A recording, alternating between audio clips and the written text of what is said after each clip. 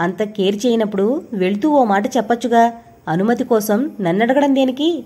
ఏమిటి మనిషి ప్రతిసారి తననెందుకిలా ఓడించాలని ప్రయత్నిస్తున్నాడు? ఆ నవ్వేమిటి? తనింత ఆరడి చేస్తున్నా ఇంత నిర్మలంగా ఎలా నవ్వగలుగుతున్నాడు? ఎంతకీ అంతుపట్టని ఈ మనిషి సామాన్యమైన సెంటిమెంట్స్కి అతీతుడా? ఆమె అలా ఆలోచిస్తుండగానే అతడు తన గదిలోకి వెళ్ళిపోయాడు. రేపు ఎలాగైనా ఊరెళ్ళాలి. ఊరికినే అన్నా తన పంతం నెగ్గించుకోవాలి. పైగా ఒంటరితనంతో పిచ్చికిపోతోంది గట్టిగా నిర్ణయించుకుని తన గదికి వెళ్ళింది. స్ప్రింగ్ కాటుపై అటూ ఇటూ దొర్లుతూ చాలాసేపు గడిపింది. అతడికి వినిపించాలని అతన్ని మరీ రెచ్చగొట్టాలని. ఎప్పుడో వేకోజామున నిద్రపట్టింది లేచేసరికి ఉదయం తొమ్మిదైంది. ఆదరాబాదరా కాలకృత్యాలు ముగించుకుని బయటకు వచ్చేసరికి కిరీటి ఆఫీసుకు వెళ్ళిపోయాడు. ఉబుసుకుపోవడం లేదు. తన ప్రయాణం సంగతి పట్టించుకోకుండా ఆఫీసుకు వెళ్ళిన కిరీటిపై కోపం క్షణక్షణానికి ఎక్కువవుతుంటే ఫోన్లో దులిపియాలనిపించింది. ఫ్యాక్టరీ విజిటింగ్కి వెళ్ళారని సీట్లో లేరని భూషణ్ సమాధానం చెప్పగానే రిసీవర్ బద్దలు చేయాలనంత ఆవేశం వచ్చింది. ఏదో గుర్తుకొచ్చినట్టుగా లేచి తన దగ్గర ఉన్న తాళాల గుత్తితో కిరీటి ప్రైవేట్ రూమ్ తెరవాలని ప్రయత్నించింది. ఎంతకీ ఫలించకపోవడంతో ఆ గది తాళం దొరుకుతుందేమోనన్న ఆశతో కిరీటి బెడ్రూమ్లోని సొరుగులన్నీ వెతికింది. ప్రయోజనం లేకపోవడంతో నీరసంగా వెళ్ళి సోఫాలో కూర్చుంది చాలాసేపు. భోజనాల వేళ మళ్ళీ ఫోన్ చేసింది. ఈసారి కిరీటి ఫోన్ అందుకున్నాడు ఏమిటి మీ ఉద్దేశం? సీరియస్గా ప్రశ్నించింది. దేని విషయంలో? తాపీగా సమాధానం వినిపించింది అటువైపు నుంచి. నా ప్రయాణం గురించి రాత్రి మీకు చెప్పాను. నేను కాదంటే కేర్ చేయకుండా వెళ్ళిపోతానని కూడా అన్నావు? అతి స్థిమితంగా జవాబులిస్తున్న కిరీటి వ్యక్తిత్వం ఆమెకు అంతుపట్టడం లేదు. నేను నిజంగా వెళ్ళిపోతాను. ఉడికిస్తున్నట్టుగా అంది. అవసరమైతే కారు తీసుకెళ్ళు. అతడి వైఖరికి ఆమెలో ఉక్రోషం మరింతగా పెరిగింది. వెళ్ళవద్దని ప్రాధేయపడతాడని తను లేకపోతే బోరు కొడుతుందని బాధపడతాడని అనుకుంటే ఇలా మాట్లాడదాడేం తనేమన్నా అతని వ్యవహారాలకు అడ్డు వస్తోందా భార్య కంటే అతనికి బిజినెస్ ఎక్కువ. చెప్పిన పని చేయకపోతే నాకు మహా ఒళ్ళుమంట. సరిగ్గా డ్రాప్ చేసి తీసుకురండి. గెటౌట్ అవతలి పక్కన ఎవరినో బ్లాస్ట్ చేస్తున్నాడు కిరీటి. నా మీద మంట మరెవరి మీద చూపిస్తున్నట్టున్నారు? ఇది బిజినెస్కు సంబంధించింది.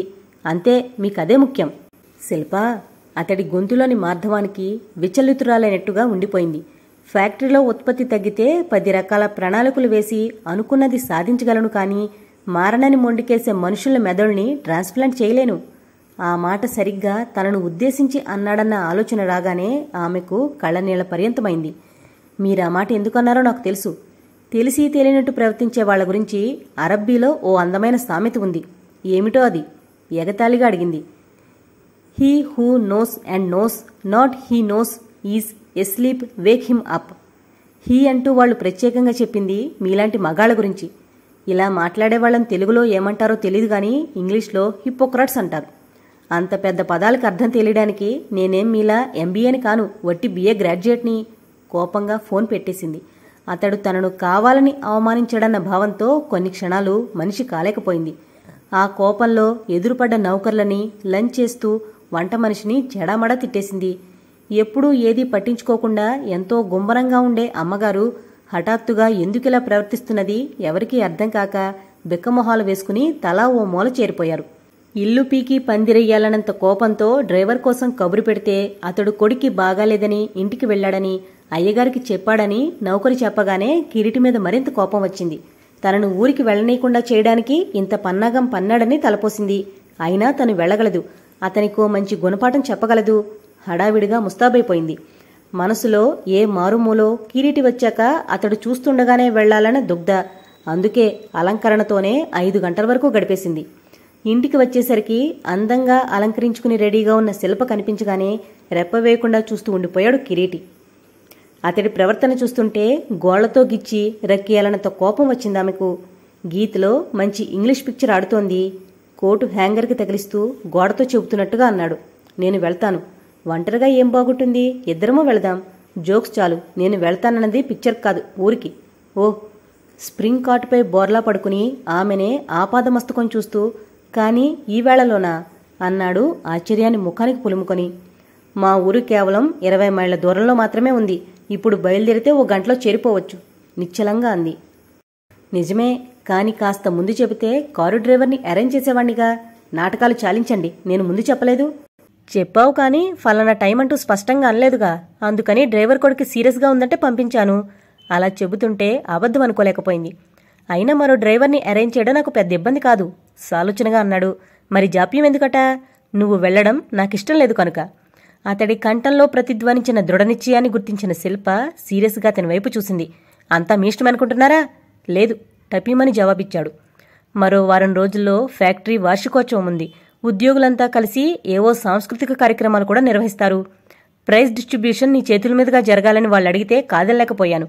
నా భారీగా కాకపోయినా వాళ్ళ యజమానురాలుగా వాళ్ళ కోరికను మన్నిస్తావని నీ అనుమతి లేకుండా మాటిచ్చేశాను. అందులోనూ మన వివాహం అయ్యాక ఎంప్లాయీస్ చేసే మొదటి ఫంక్షను సంజాయిషిస్తున్నట్టుగా అంతా చెప్పిన కిరీటికి ఆమె నుండి అనుకూలమైన జవాబును కోరుకుంటున్నట్టుగా చూడడంతో అతడి మాటల్ని మరణం చేసుకుంటూ కొన్ని క్షణాలు అలాగే నిలబడింది. అతడి అర్థింపుతో ఆమె అహం కూడా కాస్త శాంతించడంతో మారు మాట్లాడకుండా సూట్ కేసుతో సహా తన గదిలోకి నడిచింది. Good God! తుఫానును ఎదుర్కోవలసిన అవసరం తప్పినందుకు మనసులోనే ఆమెకు అభినందనలు చెప్పుకున్నాడు. మరో మూడు రోజులు గడిచాయి. ఎక్స్పోర్ట్ మిషన్స్ ట్రయల్స్ కోసమని అల్జీరియా నుండి కస్టమర్స్ రావడంతో కిరీటి చాలా రాత్రి వరకు ఫ్యాక్టరీలోనే గడిపేస్తున్నాడు. ఏ అపరాత్రి వేళనో వచ్చి అలసటగా బెడ్పై వాలి మళ్ళీ ఉదయాన్నే ఫ్యాక్టరీకి వెళ్ళిపోయే కిరీటి ఓపిక్కి ఆశ్చర్యపోయేది. ఫ్యాక్టరీ యజమానిగా సుఖపడే అవకాశాలెన్నున్నా వ్యాపారాన్ని వృద్ధి చేయడమే ప్రథమ లక్ష్యంగా రేయింబవళ్ళు యంత్రంలా పనిచేసే కిరీటిపై హఠాత్తుగా జాలి కూడా కలుగుతుండేది. నాలుగవ రోజు ఆమె ఊహించని విధంగా జయశ్రీ ఆమె దగ్గరకు వచ్చింది అది మధ్యాహ్నం రెండు గంటల వేళ కావడంతో కిరీట్ ఇంటి దగ్గర లేడు. ఏ బాదరబందీ లేనట్టుగా తాపీగా కూర్చుని పుస్తకం చదువుకుంటున్న శిల్పను చూడగానే ఎందుకో ఈర్ష కలిగింది. పైగా ఈ మధ్య ఫోన్లో సైతం కిరీటి చాలా ముభావంగా ముక్తసరిగా మాట్లాడుతుంటే అదంతా శిల్ప మహిమే అని భావించడంతో ఆమెపై ఎలాగైనా అక్కసు తీర్చుకోవాలన్న కోరిక ఉంది. అందుకే కిరీటి లేనివేళ చూసి మరీ వచ్చింది. ఆమె రాగానే శిల్పమొహంలో తారట్లాడిన అనుమానపు రేఖల్ని ఆమె గమనించకపోలేదు. ఏమిటి? పెళ్ళయ్యాక కిరీటి మరి నల్లపోసైపోయాడు? క్రీగంట చూసి స్ప్రింగ్ కాటుపై కూర్చుంది జయశ్రీ. పడక గదిలోకి సరాసరి రావడమే కాకుండా భార్యాభర్తలకు మాత్రమే పరిమితమైన బెడ్ అధిరోహించి తీరుబాటుగా కబుర్లకు ఉపక్రమించింది. ఇది ఈమెకు సంస్కారమా లేక కిరీటిచ్చిన చనువా? జుగుప్సగా పదే పదే ప్రశ్నించుకుంది శిల్ప. అయినా కోపాన్ని దిగమింగుకుని మర్యాదగానే మాట్లాడాలని నిర్ణయించుకుంది. కారణం కిరీటి గతం గురించి కొంతైనా తెలుసుకోవాలన్న కోరిక కలగడం వల్ల. ఏముందండి? బిజినెస్ వ్యవహారాల్లో ఆయన ఈ మధ్య మరీ బిజీగా ఉన్నారు. సాధ్యమైనంత సౌమ్యతగా జవాబిచ్చింది. ఎంతకు ముందు మాత్రం బిజీగా లేడు. ఎంత రాత్రి వేళైనా వచ్చి కొంతసేపైనా గడిపి వెళ్ళేవాడు ఎంత థ్రిల్గా ఉండేదనుకున్నారు? క్రీగంట చూస్తూ శిల్పనే పరికించి సాగింది. పెళ్ళయ్యాక కూడా పూర్వంలాగే మీతో గడపాలంటే ఆయనకి ఎలా కుదురుతుందండి? అప్పుడంటే బ్రహ్మచారి కాబట్టి ఏదో మీ దగ్గర టైంపాస్ చేసేవారు. కూచించుకుపోయిన జయశ్రీమోహన్ మొహం చూడగానే గట్టిగానే బదులు చెప్పాననుకుంది మీరెన్ని చెప్పండి? మనమంతా కన్య తర్వాతనే. కన్య అంటే కిరీటి మాజీ ప్రియురాలు. మళ్ళీ నేను అన్నట్టుగా అడిగారు. కిరీటి నన్ను రేపు చేసినంత పనిచేస్తాడు వస్తానండి. అవతల బోల్డెన్ అపాయింట్మెంట్స్. యుద్ధానికి కావలసిన సరంజామా సిద్ధం చేశానన్న తృప్తితో జయశ్రీ వెళ్ళిపోయింది. కన్య ఆమెకు పేరు తెలిసింది. మిగతా వివరాలు తెలియాలి. ఎలా? ఆ రాత్రి ఆమెకు నిద్ర పట్టలేదు. అర్ధరాత్రి పన్నెండు గంటల వేళ చెక్ చేస్తే కిరీటి ప్రైవేట్ రూమ్లో కూర్చుని సీరియస్గా అదే ఫోటో ఆల్బమ్ను చూస్తున్నాడు. దుఃఖం ముంచుకొచ్చింది ఆమెకు. రెండు గంటల వేళ మళ్ళీ మెలకువ చూస్తే ప్రైవేట్ రూంలో కిరీటి ఇంకా అలాగే కూర్చుని ఉన్నాడు. ఏమిటి అంత ఆరాధన? అంత అభిమానమున్నప్పుడు తననెందుకు కట్టుకున్నట్టు? గతం మరుపురానిదైతే మళ్ళీ తన మెడలో ఎందుకు ఉరితాడు బిగించినట్టు? ఆవేశంతో వెంటనే అడిగేయాలనిపించింది. జయశ్రీ మొదలుకుని కన్య వరకు జరిపిన రహస్య ప్రణయకాండ గురించి దులిపేయాలనిపించింది. అయినా ముందుకు కదలలేకపోయింది. ఇదంతా నాకెందుకు అన్న నిర్లిప్తత. సగటు ఆడదానిలా ప్రవర్తించకూడదన్న అహంకారం. సమయం వచ్చినప్పుడు దానంతట అదే తెలియకపోదన్న నమ్మకంతో మిన్నకుండిపోయింది. ఆదివారం ఫంక్షన్కు మరే రాద్దంతం చేయకుండానే కిరీటితో కళామందిర్కు వెళ్ళింది. ఆడిటోరియం అంతా కిక్కిరిసిపోయి ఉంది. ఏదో నాటకం. మోనో యాక్షన్ మరేదో జరిగింది. దేనిపైన శిల్ప మనసు లగ్నం కావడం లేదు. సాంస్కృతిక కార్యక్రమం ముగియగానే ఫైన్ ఆర్ట్స్ వింగ్ సెక్రటరీ కిరీటిని శిల్పను వినయంగా స్టేజ్ పైకి ఆహ్వానించారు. హాలు కరతాళ ధ్వనులతో ప్రతిధ్వనించింది. మెడలను అలంకరించిన పూలదండల్ని పక్కనబెట్టి కిరీటి సరసన టీవీగా కూర్చుందామె. అక్కడున్న వారంతా తనకో ప్రత్యేక గౌరవాన్నిచ్చి వింతగా అబ్బురంగా చూస్తుంటే చాలా గర్వం అనిపించి కొంత ఊరట చెందింది. స్పోర్ట్స్ సాంస్కృతిక కార్యక్రమాలకు సంబంధించిన బహుమతులు శిల్ప చేతుల మీదుగా అందజేయబడ్డాయి. ఏడాది పొడుగునా కష్టించి పనిచేసే మా ఉద్యోగుల శ్రమను మరిపింపజేసే ఇలాంటి ఉత్సవాలకు వెన్నుతట్టి ప్రోత్సహించే మహామనిషి మా కిరీటిబాబు. మాలిని యంత్ర కర్మాగారంలో పనిచేసే మమ్మల్ని యంత్రాల్లాగాక మనుషుల్లో గౌరవించే యజమాని మా కిరీటిబాబు. మా కష్టాలను సమస్యలను అనుక్షణం గుర్తిస్తూ సామరస్యంతో వ్యవహరించే ఇటువంటి యజమాని మాకుండడం మా అదృష్టమంటూ స్తుతించాడు కార్మిక నాయకుడైన సదానందం. తర్వాత కిరీటి తన ఉపన్యాసానికి ఉపక్రమిస్తూ నన్ను నమ్ముకున్న వాళ్ళకు ఆసరాగా నిలబడడం నా అభిమతం. అదే అభిప్రాయంతో హార్ట్ వాల్వ్ ట్రాన్స్ప్లాంటేషన్కు సిద్ధపడే ఆర్థిక శక్తి లేక తన కొడుకును ప్రాణాపాయ స్థితిలో ఆసుపత్రిలో చేర్పించి అసహాయుడుగా నిలబడిపోయిన డ్రైవర్ థామస్కు రాయవెల్లూరు ట్రీట్మెంట్కు అవసరమయ్యే పదిహేను వేల రూపాయల్ని ఈ సభాముఖంగా అందజేస్తున్నాను అంటూ థామస్ను వేదికపైకి పిలిచేసరికి సభ హర్షధ్వానాలతో మారుమోగిపోయింది. ఆవేశంగా వేదికపైకి వచ్చి అశ్రువులతో పాదాలను అభిషేకిస్తున్న థామస్ను లేవనెత్తి నోట్ల కట్టను అందజేశాడు. ఆ సన్నివేశం చూసిన అందరి కళ్ళు చెమ్మగిల్లాయి పేదతనమన్నది ఎంత భయంకరమైనదో నాకు తెలుసు కాబట్టే స్వర్గీయ చక్రవర్తి గారి పేరట ఒక ట్రస్టు స్థాపించి ఇలాంటి అవసరాలకు అయ్యే ఖర్చుల్ని నేనే భరించాలనుకుంటున్నాను. మళ్ళీ చప్పట్లు. డబ్బును సంపాదించడం మాత్రం పరమార్థంగా పెట్టుకోక ఆ డబ్బుకో అర్థాన్ని ఆ విధంగా నా లక్ష్యానికో రూపాన్ని ఇవ్వడమే నా ఆశయం. అనాథలందర్నీ ఆదుకునే శక్తి లేకపోయినా ఏ కొందరికైనా కొంత సహకారాన్ని అందించగలిగితే నా జీవితం ధన్యమైనట్టే. విప్పారిన నేత్రాలతో కిరీటినే చూస్తుండిపోయింది శిల్ప. ఈ విధంగా నేనేదో గొప్పవాడిలా చలామణి కావాలన్న దుగ్ధ నాకు లేదు. ఈ కిరీటి కొందరికైనా ఉపయోగపడితే చాలన్న ఆకాంక్ష మాత్రమే. కారు నడుపుతూ సంజాయిషిస్తున్నట్టుగా కిరీటి ఆ మాటలెందుకన్నది ఆమెకు అర్థం కాలేదు. అయినా అందరిచేత కొనియాడబడే కిరీటి తనతో అలా మాట్లాడడం ఆ క్షణంలో ఆమెకెంతో హాయినిచ్చినట్టుగా అనిపించింది. చక్రవర్తి ఎవరు? అసలు కన్యకి కిరీటికి ఉన్న సంబంధమేమిటి? కిరీటి గతంలో తనకు తెలిసిన వ్యక్తేనా? ఇంతటి ఆస్తికి పేరు ప్రఖ్యాతలకు వారసుడైన కిరీటి తననెందుకు కోరుకున్నట్టు?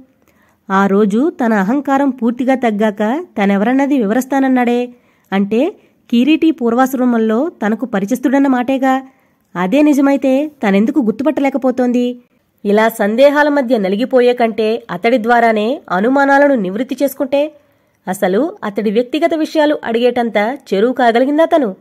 అహంకారంతో అనుక్షణం అతన్ని అవమానించడమే పనిగా పెట్టుకున్న తనకు అడిగితే మాత్రం చిక్కుముడి విప్పుతాడన్న గ్యారంటీ ఏమిటి? పెద్ద ఛాలెంజ్ చేసినట్టుగా సమయం వచ్చినప్పుడు తనెవరన్నది వివరిస్తానన్న పెద్ద మనిషి అంత తేలిగ్గా తనతో సహకరిస్తాడా? ఎలా ఏం చేస్తే కిరీటి గురించి తను తెలుసుకోగలుగుతుంది? ఆలోచనలతో బెడ్పై అటూ ఇటూ పొర్లుతూ అర్ధరాత్రి వరకు గడిపింది. పోనీ అతడు కోరినట్టు ప్రేమను పంచి అసంభవం తనాల చేయలేదు అతని ముందు తాను తలవంచలేదు. కనీసం ప్రేమిస్తున్నట్టు నటిస్తే అవును అలా చేయాలి. అలా చేస్తే గాని కిరీటి ఎవరన్నది తనకు తెలీదు. ఏరికోరి తనను వివాహం చేసుకోవడంలో గల అంతరార్థం స్పష్టం కాదు. ఓ దృఢ నిశ్చయానికి వచ్చినట్టుగా హాయిగా నిద్రపోయింది. తెల్లవారుజామునే లేచి కాలకృత్యాలు ముగించుకుని తన ఆలోచనలకు రూపమిచ్చే ప్రయత్నంగా అతని కోసం నిరీక్షిస్తూ డైనింగ్ హాల్లో కూర్చుంది. అయ్యగారిని జయశ్రీ అమ్మగారు తీసుకెళ్ళారండి. గజేంద్రబాబు గారికి గుండె నొప్పొస్తే ఆసుపత్రిలో చేర్పించారట. అడగకుండానే చెప్పింది వంట మనిషి. అసూయతో ఆమె గుండెలు మండిపోయాయి. ఫోన్ చేసి పిలవచ్చుగా. మొగుణ్ణి ఆసుపత్రిలో వదిలి అంత ఉదయాన్నే ఇక్కడికి రావాలా? కోపంగా జయశ్రీంటికి ఫోన్ చేసింది. జయశ్రీ ఫోన్ ఎత్తినట్టు గుర్తించగానే మా వారున్నారా? అంటూ సీరియస్గా అడిగింది. వచ్చి గంట కూడా కాలేదు. అప్పుడే అంత విరహమా? జోవియల్గా అందో జల్సీగా అందో శిల్పకు అర్థం కాలేదు. ముందాయనకో మారు ఫోన్ ఇవ్వండి. ఆజ్ఞాపిస్తున్నట్టుగా అంది. హలో? ఆవల నుంచి కిరీటి గొంతు వినిపించింది. మీరు బ్రేక్ఫాస్ట్ చేయకుండానే వెళ్ళారు శిల్ప నోటి నుండి ఇంతటి అనురాగపూరితమైన మాటలెన్నడూ వినని కిరీటి అవాక్కైపోయాడు కొన్ని లిప్తాల పాటు. గజేంద్రకి హార్ట్అటాక్ వచ్చిందని చెబితే నెమ్మదిగా అన్నాడు. ఆసుపత్రికి వెళ్ళక ఇంటి దగ్గరే ఉండిపోయారేం? ఆయన ఇంటిలోనే ఉన్నాడు. ఈ ప్రశ్నల పరంపరకు కారణమేమిటా అని ఆలోచిస్తూ. అలా అంటే కాని రానని జయశ్రీ అబద్ధం చెప్పింది. అన్నాడు. మరో ప్రశ్నకు అవకాశం ఇవ్వకుండా. నేను ముందే ఊహించాను. సాయంత్రం పిక్చర్కి వెళ్దాం. ఎర్లీగా వచ్చేయండి. ఏ పిక్చర్కి? విభ్రమంగా అడిగాడు. ఎగ్జాస్టిస్ అదే బోతాల్ సినిమా. జయశ్రీపై అక్కసుగా బోతం అని మరింత నొక్కి పలుకుతూ ఫోన్ పెట్టేసింది. ఏసీ ఉన్న ముఖమంతా చెమటలు పట్టేసింది. ఎంతసేపు మాట్లాడింది తనేనా అన్న అనుమానం తన చొరవపై తనకే అపనమ్మకం కలగ్గానే సిగ్గుతో ముడుచుకుపోయింది. ఐదు గంటలకల్లా వచ్చేశాడు కిరీటి. బిడియంతో చాలాసేపటి వరకు అతని ముందుకు రాలేకపోయింది. బెట్టు చేయకుండా ముస్తాబే వచ్చిన శిల్పను చూడగానే ఇది కలయా వైష్ణవమాయ అని అబ్బురపడిపోయాడు. ఇక బయలుదేరతారనగా వర్షం మొదలైంది. కొన్ని క్షణాల పాటు పోర్టికోలో నిలబడిపోయారిద్దరు.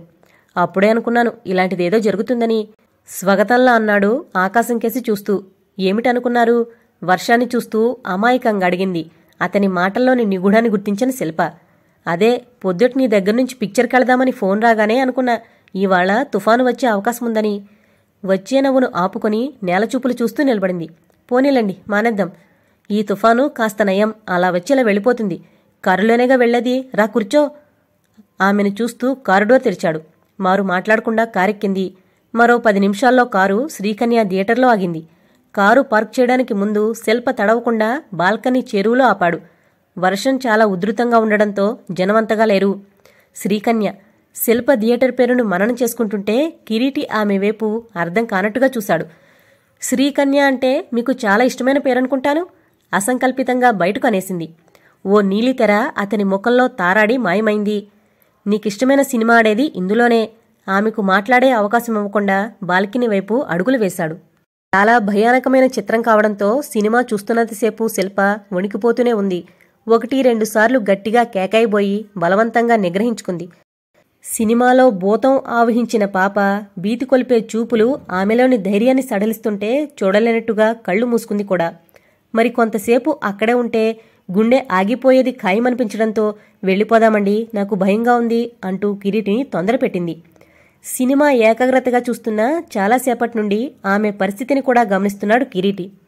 అందుకే భయం లేదు నేనున్నానుగా అన్నట్టుగా ఆమె చేతిని మృదువుగా నొక్కుతూ చిత్రం పూర్తయ్యే వరకు ఆమెను కూర్చోబెట్టాడు. ఇంటికి తిరిగి వచ్చిన సినిమా దృశ్యాలు ఆమెను వెన్నంటుతున్నట్టే ఉన్నాయి. డిన్నర్ పూర్తయ్యాక తన గదిలోకి వెళ్ళింది. బయట వర్షం మళ్ళీ మొదలైంది. ఈసారి దానికి ఈదురుగాలి కూడా తోడవడంతో వాతావరణం కూడా భయానకంగా మారిపోయింది. ఒంటరిగా గదిలో ఉండడానికే భయం వేసింది. కిరీటి పిలిస్తే బాగుండు అన్న ఆలోచనతో అతడు వస్తాడేమోనని చాలాసేపటి వరకు ద్వారం వైపు చూస్తూనే గడిపింది. తనే చొరవ తీసుకుని వెళ్ళాలంటే సిగ్గడ్డొచ్చింది. అలా సందిగ్ధంలోనే మగతగా నిద్రపట్టేసింది. నిద్రలో పాప రక్తం తాగే చూపులు గుండెలెదిరేటట్టు వేసే కేకలు గుర్తుకు వచ్చి ఉలిక్కిపడి పైకి లేచింది. టైం ఎంతైందో కూడా చూడడానికి భయం వేసింది. బయట రివ్వుమంటున్న పెనుగాలి ఉప్పెన వస్తున్నట్టుగా సముద్రపు హోరు దెయ్యాలు సొయ్యాటలాడుతున్నట్టుగా గదిలో కట్టెన్లు నాట్యం చేస్తున్నాయి. ఆపాదమస్తకం కంపించిపోతూ ఆందోళనగా బయటకు పరిగెత్తిన శిల్ప త్రుటిలో కిరీటి బెడ్ను చేరింది. కిరీటి మీద పడి గొంతు పిసికేయాలన్నంత రోషం వచ్చింది. అలా చేస్తే అతని పక్కనే పడుకునే అవకాశం ఉండదని అనిపించడంతో స్ప్రింగ్ కాటుపై అతనికి దూరంగా ఓ అంచున సాగిలబడింది. అతనికి చేరువలో ఒకే బెడ్పై పడుకున్నానన్న ఆలోచన ఆమెలో కొత్త ఊహలకు ఊపిరిపోసింది. నిద్రలో పక్కకు ఒత్తిగిలిన కిరీటి చెయ్యి ఆమెపై పడింది. కిరీటి కళ్ళు తెరిచాడు. ఏం జరుగుతున్నది గ్రహించడానికి అట్టేసేపు పట్టలేదు. ఘనీభవించిన కోరికల వెల్లువ కరిగినట్టుగా అతడి చేతులు బిగుసుకున్నాయి. తీరం చేరబోతున్న నావ సుడిగుండంలో చిక్కుకున్నట్టుగా గమ్యానికి చేరువవుతున్న విమానం రన్వేపై క్రాష్ అయినట్టుగా ఫోన్ రింగ్ అయింది. అతని చేతులు అలవోకగా రిసీవర్ను అందుకున్నాయి. ఓవర్ హెడ్ క్రేన్ కూలి ఐదుగురు ఉద్యోగుల దుర్మరణం. నైట్ షిఫ్ట్ ఇన్ఛార్జి నుండి అందిన వర్తమానమది. కిరీటి షాక్ తిన్నట్టుగా ఉండిపోయాడు.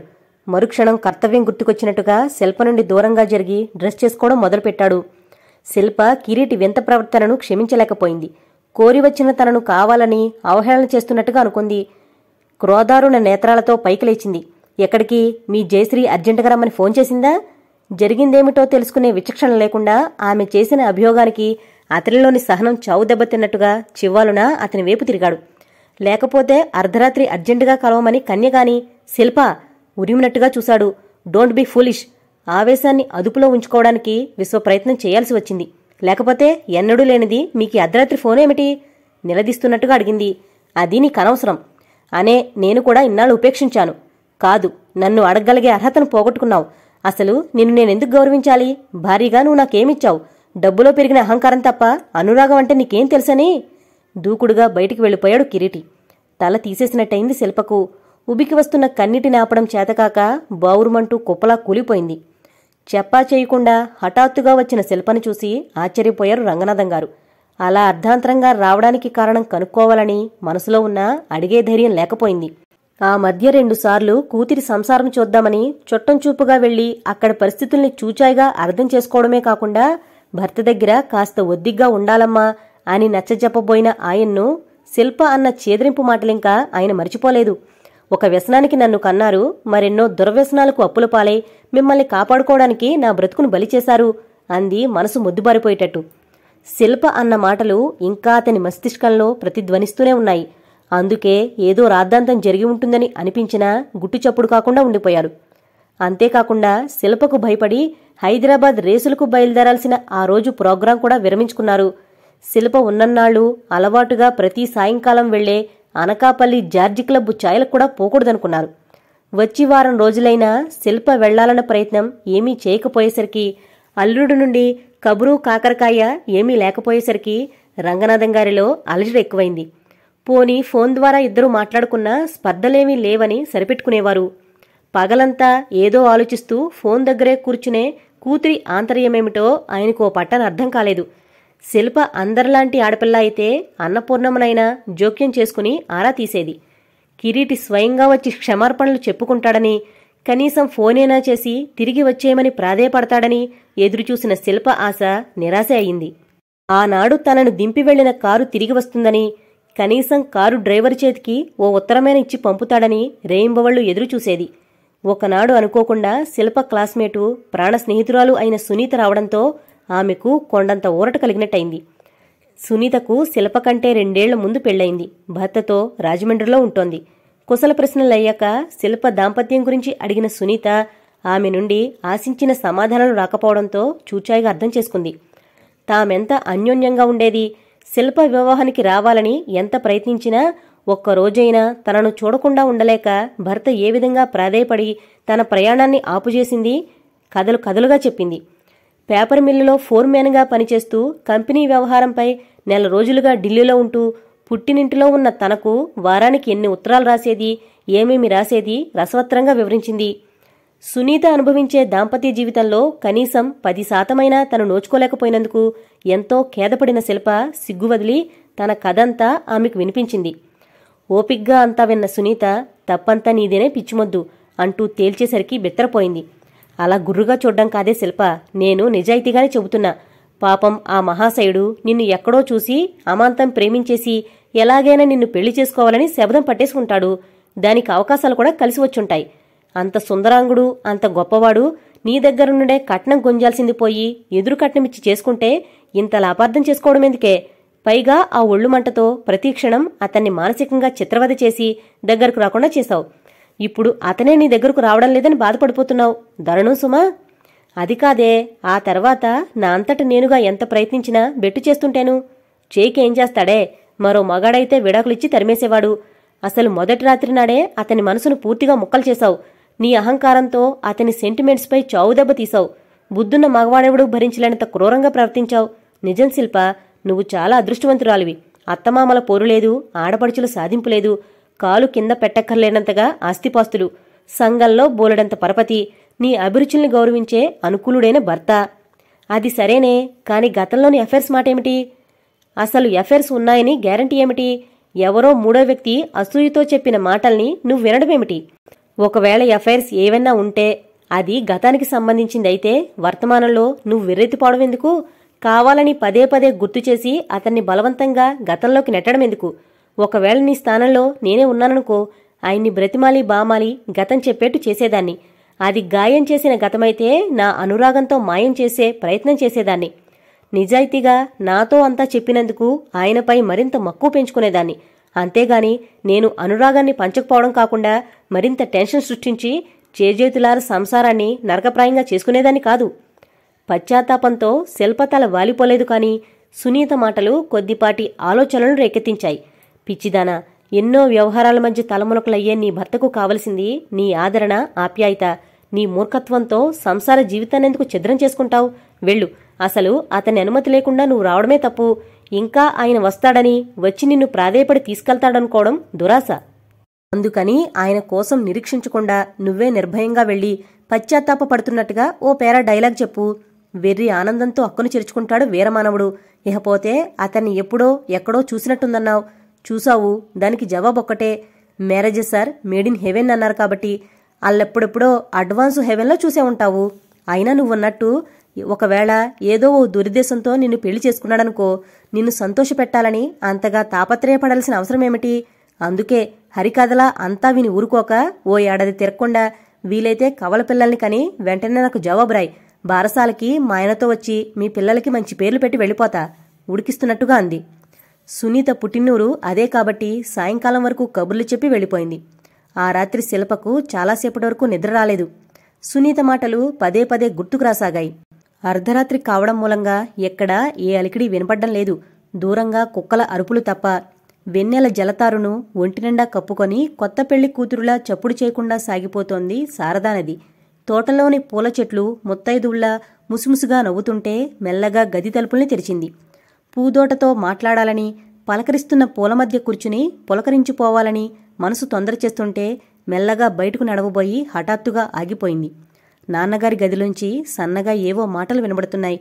మరుక్షణం గాజుల గలగలలు. శిల్పచూపుల్లో ఆశ్చర్యం అనుమానం తెలుసుకోవాలన్న ఉత్సుకత సవ్వడి చేయకుండా ముందుకు నడిచింది. కిటికీ సందుగుండా లోపలికి చూసి షాక్ తిన్నట్టుగా చలించిపోయింది. నాన్నగారి గదిలో అన్నపూర్ణమ్మ అసహ్యంతో జుగుప్సతో గబాలున తల తిప్పుకుంది. ఊహించని దృశ్యం. ఏళ్ళ తరబడి తన ఏమరపాటును గుర్తుచేసే నీచాతి నీచమైన సన్నివేశం. గదిలోకి వచ్చి నిస్సత్తువుగా సోఫాలో చెతికిలబడింది. ఏమిటి తను చూసింది? ఇది నిజమేనా? రాజా నరేంద్రదేవ్ సంతతిలోని వారైన నాన్న ఇంత నికృష్టుడైన మనిషా? కేవలం కొన్ని దురలవాట్లకే బానిసనుకున్న నాన్నగారికి ఈ అలవాటు కూడా ఉందా?